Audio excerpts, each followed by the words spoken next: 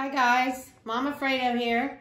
Wanted to touch base with you and wish you a Merry Christmas or Happy Holidays, I guess we should say. Um, and um, what I just wanted to kind of give you an update. Um, ready for Christmas. I'm wrapped. I only have one more thing to wrap, which is good. Um, I've been baking for a week. This has been a true test of my diet because I made chocolate chips, I made pizzelles, I made peanut butter cookies, and I made, uh, what else? Oh, I made the ricotta cookies, the butter cookies. Mm, Fat Boy Fredo wants to torment me a little bit. So here we go. Stop. So, and then, um, so I haven't been going to the gym as much as I should, which just because I've been so busy. And, um, but I'm not doing too bad. Ow. I lost another pound and a half, so I'm up to 63 and a half, which is really good since, you know, the end of July. And, um, just things have been crazy. So it's just been so busy not to go to the gym, but I will be right back on as soon as the holidays are over because I've been running around like a complete lunatic.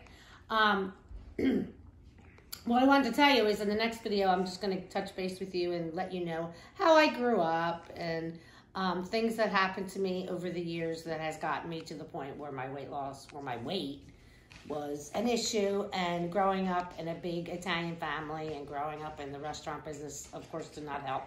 Um, while I loved it, at the same time, it wasn't good to be in that situation.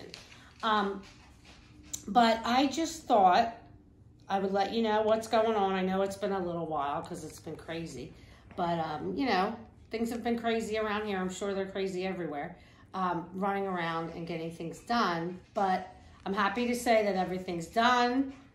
I'm still doing good on my weight loss journey, and uh, Vincent's still driving me crazy, Fat Boy Fredo. And um, I have some surprises for him for Christmas that he doesn't really know about, which is kind of cool. Um, and yes, he is still tormenting me, but I'm giving him his share back, right? What? Come here. Sit down. So what do you think Santa Claus is bringing you? Cool. Cool? He's right. so, um, really that's all I wanted to tell you. Um, Marley, Marley, come here. This is my dog Marley. He's a little crazy, but he just wants to be loved. Um, so I will touch base with you soon. I'm not going to let it go this long again and let you know. And I wanted to do some before and after pics maybe because um, we had taken some when I first, like the first couple weeks I was out of the hospital. It wasn't pretty. So it should be better now and we'll post soon. And I hope everybody has a great holiday and I'll talk to you guys later. Peace out.